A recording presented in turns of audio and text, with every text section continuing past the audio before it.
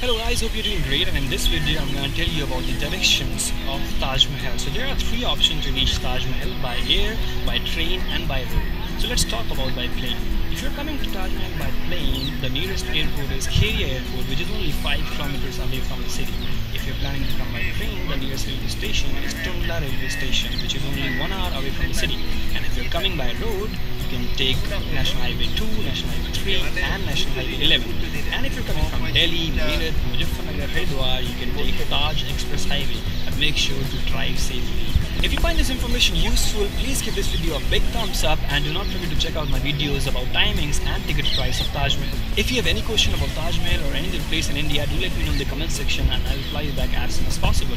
I'm on Facebook, Twitter, Pinterest and Instagram. The links are in the description. Please check those links because I'll be uploading videos about Taj Mahal over there. And make sure to subscribe to this channel because I'll be putting videos about different places in India every single week. That's it for this video. Till next time, keep traveling and stay happy because you are awesome.